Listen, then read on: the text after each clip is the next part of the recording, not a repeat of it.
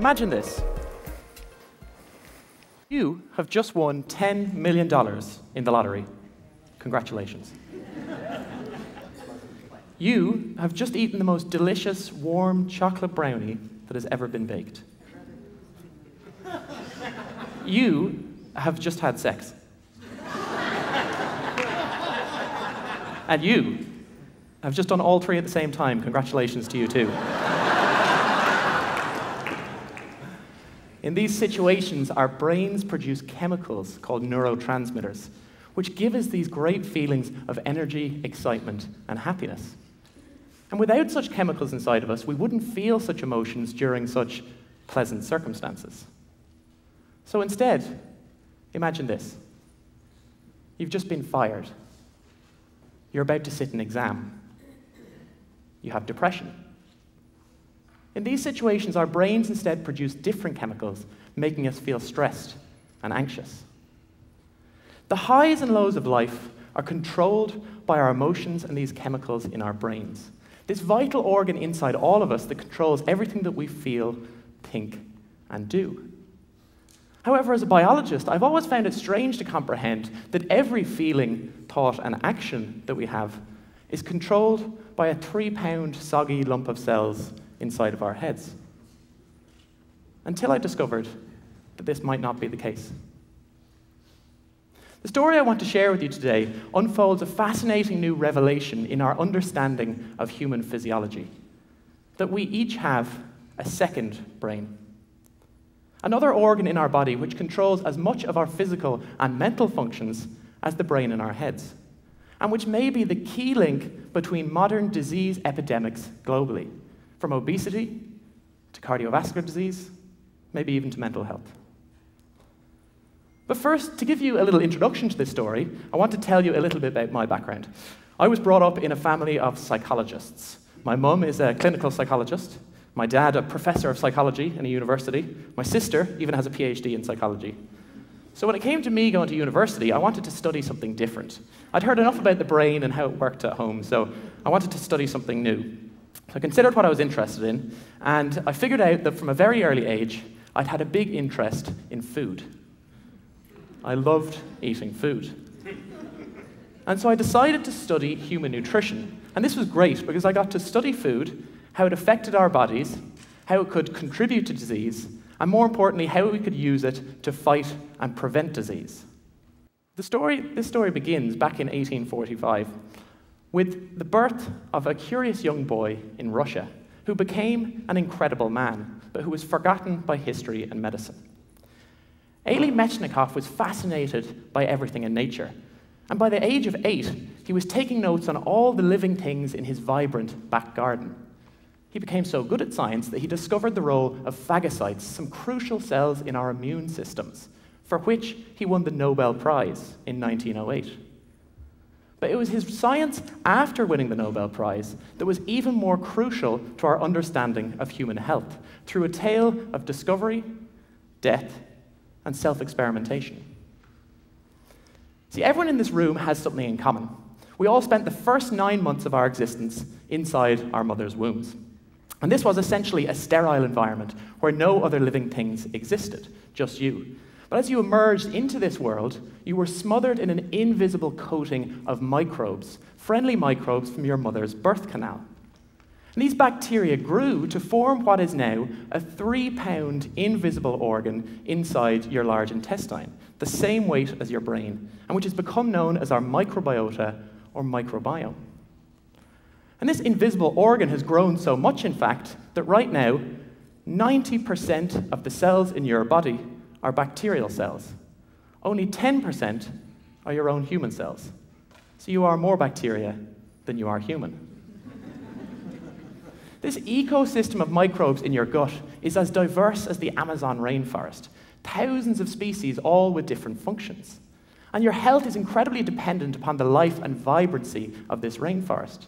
Your gut bacteria digest certain foods, produce essential vitamins and hormones, respond to medicine and infections, control your blood sugar and blood cholesterol levels, meaning the types of bacteria in your intestines can significantly or significantly control your risk of certain diseases, from obesity to diabetes maybe even osteoporosis. They're involved in just about every process in your body. They function almost as a second brain. Well, Elie Metchnikoff may have figured this out himself in 1892. He lived in France, in Paris at the time, where a deadly cholera epidemic had broken out with thousands of deaths. Naturally, as a scientist, he decided the best way to study this was to drink a broth of cholera himself. Remarkably, he didn't get sick. So, again, as a true scientist, he needed to increase his sample size, so he recruited a colleague to do the same thing. This guy didn't get sick either. But when he recruited another colleague to do the same, this poor guy got critically ill and very nearly died. By studying cholera under the microscope, Metchnikoff found that certain species of bacteria from the human intestines supported and stimulated cholera's growth, while other species prevented it. He subsequently claimed that the gut microbiota, or our gut bacteria, were essential for human health, and that the right balance of microbes inside of us could help stave off disease. However, popular understanding at the time was that the human gut was a noxious reservoir of toxins. Surgeons had even begun removing entire sections of human intestines in patients with gut discomfort. Metchnikoff's death in 1916 meant that his ideas that our gut bacteria were good for us were forgotten. A decade later, antibiotics were discovered and drastically became overused. C sections became common. Diets became westernized.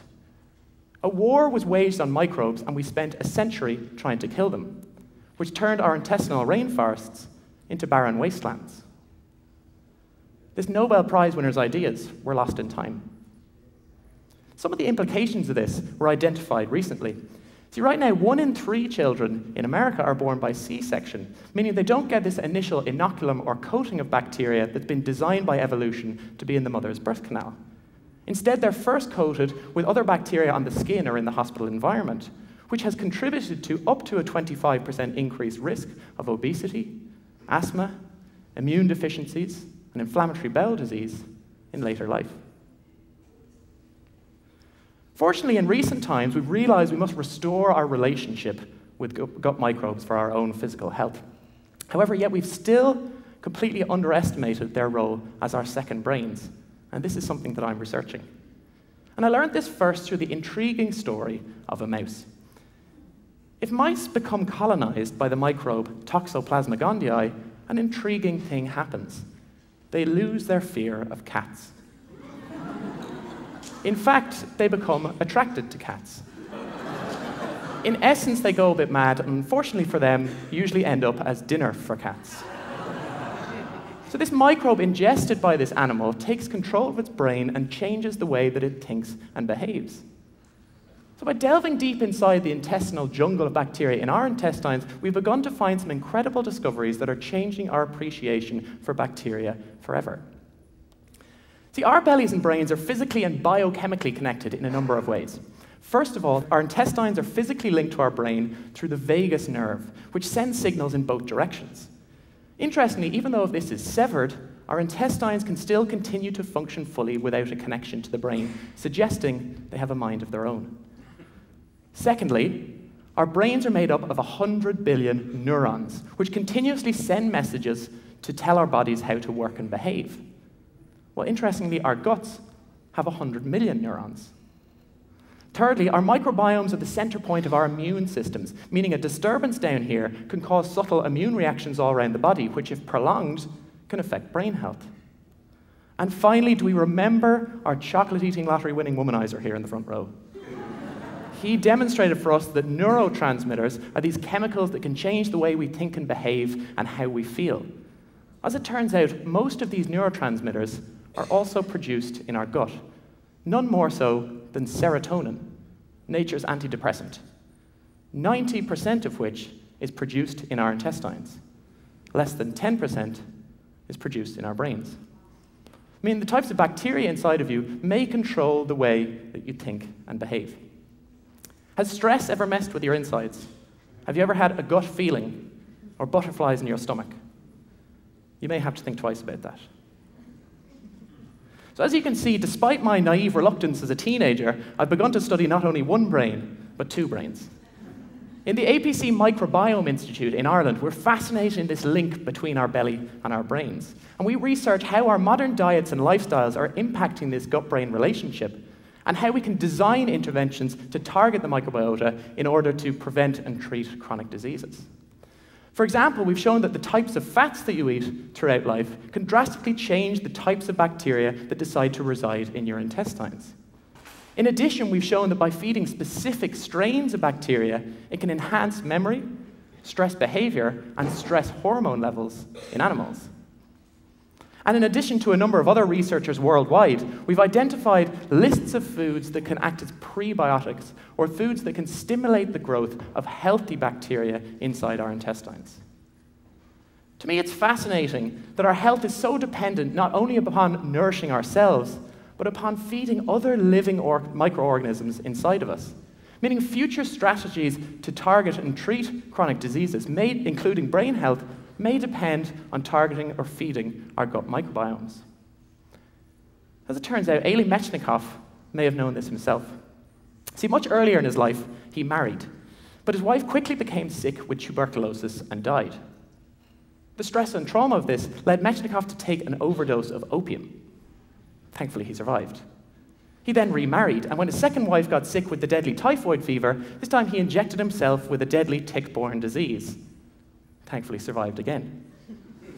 It was only after this Metchnikoff began studying and appreciating the microbiota. He moved to Paris to work in the Pasteur Institute, where he began hypothesizing that the right balance of microbes in the gut could help stave off disease. And he published a series of books and lectures describing how to achieve this and prolong life. Despite the stress and mental turmoil that he'd experienced in earlier life, he spent the rest of his life dedicated and obsessed with researching how to prolong human life. He began studying an interesting group of people in Eastern Europe who were living exceptionally long lives, and he noted that they all drank bacterial fermented milk every day, and he, he suggested that this contributed to their longevity. Interestingly, he began drinking this bacterial fermented milk himself and seemingly lived a healthy life rid of the stress and mental turmoil he'd experienced in earlier life. Maybe that was just coincidental. He described the time in Paris as the happiest of his life. But Metchnikoff died in France in 1916 at the age of 71. The life expectancy in France at the time was 40. As humans, we all need to adopt a greater appreciation for the microbes inside of us. The incidental war we've waged on bacteria over the last century has led to bacterial extinction and sparked an epidemic of modern plagues. I'm here in a Fulbright to research how we can restore our relationship with microbes and how this can be used to prevent and treat chronic diseases. But I feel that we all have the responsibility and the potential to follow in Elie Metchnikoff's footsteps. Not only to revive his scientific findings that were lost in time, but to adopt his desire to prolong healthy human life. Whether it's by educating ourselves on the risks and benefits of C sections, restricting unnecessary antibiotic use, or by adopting a gut friendly diet and lifestyle, we can all support the life of microbes that we've evolved to live alongside. So imagine this. Imagine you've just eaten chocolate or won the lottery, sat an exam, or just been fired. Imagine your thoughts, your emotions, your behavior, and your health could be controlled by a hidden organ that you knew little about. Metchnikoff fought to not only prolong healthy human life, but healthy microbial life. I feel we can all contribute to this fight worth fighting for our own health, but more importantly, for future generations' health, by restoring the relationship between microbe and man. There is some food for thought. Thank you very much. Thank you.